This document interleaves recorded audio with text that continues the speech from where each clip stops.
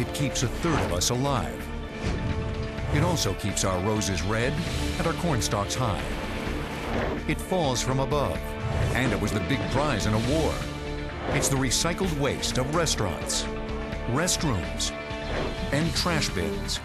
It's dredged from ancient seas and drenched in modern solutions. Dripped, dropped, or dumped. Now, fertilizer on Modern Marvels.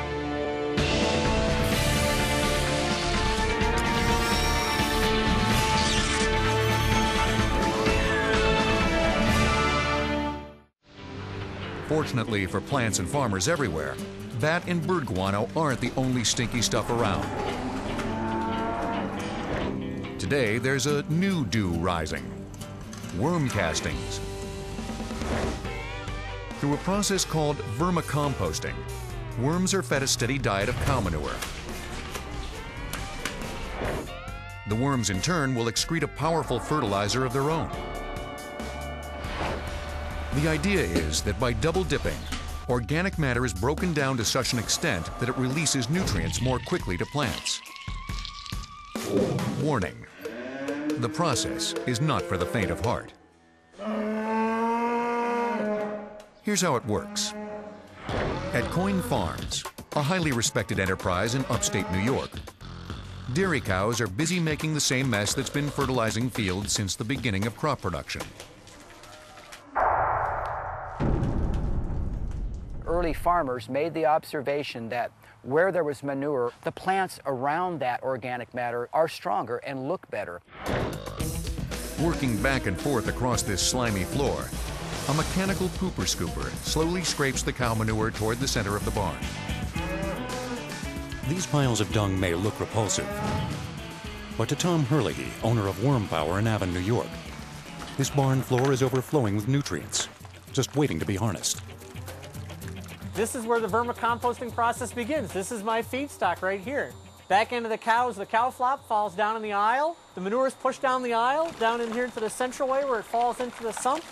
Comes down in here. There's 80,000 gallons of manure and it's being agitated, pumped around and around and around.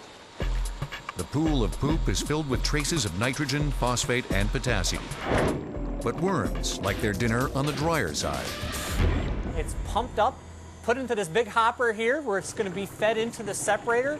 The separator is nothing more than a giant squeeze press, just like when you're making wine or uh, apple cider. It's squeezed. We get the uh, solids here out of the end. You can see it's all fibrous from the uh, bedding from the cow and also from their diet. And then the juice comes out the pipe down here at the bottom.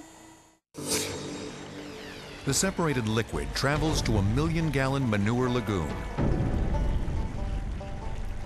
Later, so as not to waste a drop, the nose-rotting liquid will be sent to a corn pasture to fertilize feed for the same cows that made it.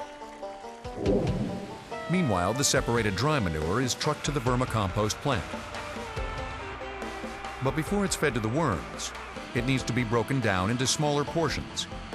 The best way to do that is to compost it with an active organic material, like rotting cattle feed. Normally, the manure would take several months to decompose. That's where the worms come in. Here we are. This is the heart of the vermicomposting operation. In this room, we have about 7 million earthworms living and breeding. Uh, each one of these beds is about 1,000 square feet of surface area. We've taken that manure, we've composted it, and now we're feeding it to the worms.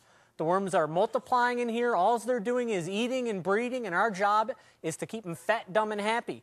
They're in here eating away like mad. And you can see, we got lots of earthworms. Food and sex in a specially made trough.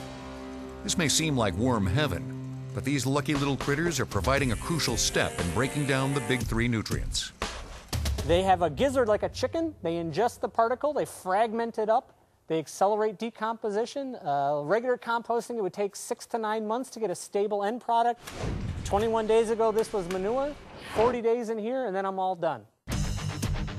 Inside the trough, the worms work in a counterflow system. The original compost is spread on the top of the bed. The worms then move up to eat. After digestion, they expel particles called castings. A winch then pulls a bar through the trough which skims off a layer of castings to the bottom. compost is then added back on top of the trough, and the process continues. 45 days later, the vermicastings are calmly shaken onto a conveyor below, and the final product slowly rides off to the packaging plant.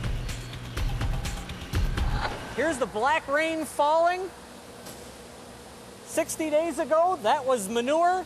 Now it's beautiful, rich, earthy smelling material. Plant the seed in it, jump back before the shoot comes and hits you in the eye. Worms can poop great fertilizer. And cows and bats can too. So what about the hairless ape?